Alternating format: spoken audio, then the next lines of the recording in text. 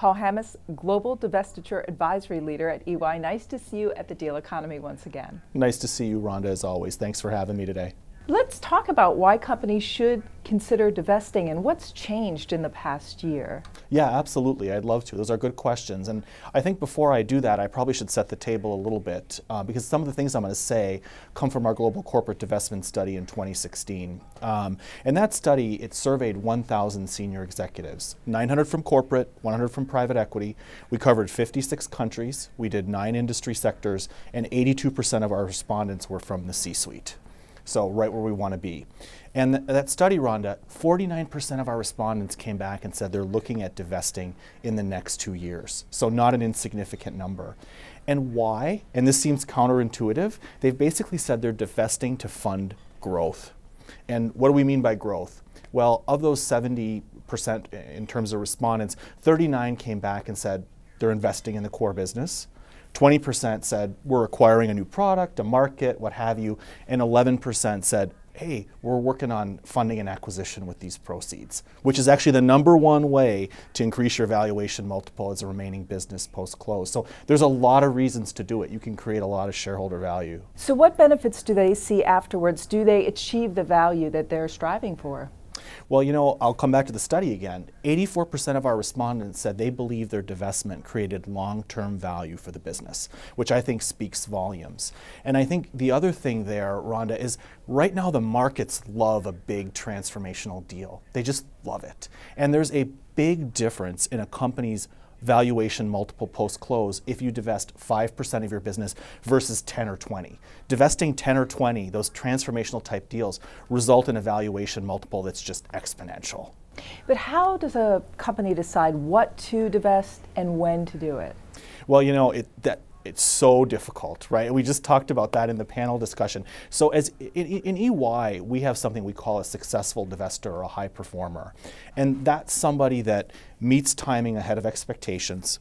Uh, their proceeds are ahead of expectations, which, as I've said before, who doesn't like more cash, and is in a position where their valuation multiple goes up post close.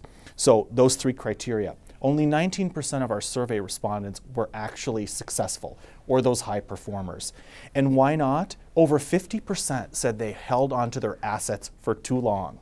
So, what do you do? You got to cut those apron strings, right? One way or another. Um, what do you do? You focus on the portfolio review right? Review that portfolio regularly, do it quarterly. We saw with our respondents over 30% of them fall in that high performer category when they do it quarterly as opposed to annually.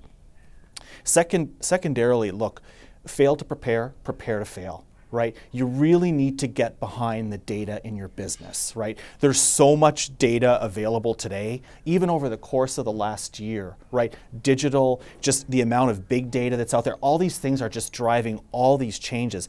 You need to get into a position where you are never put by a buyer in a position where they're telling you something about your business that you don't know. So get behind all that data, do analytics on that data, figure out what it's telling you. Absolutely critically important, not only for you, buyers today are demanding it, both private equity and, for, and corporate. So then after a divestiture, what are the top three things the company should be doing? So when you think about a divestiture and the top three things a company should do, number one, people get very starry-eyed, right? They start to focus on the remainder of the organization. What am I going to do with that capital, et cetera, et cetera.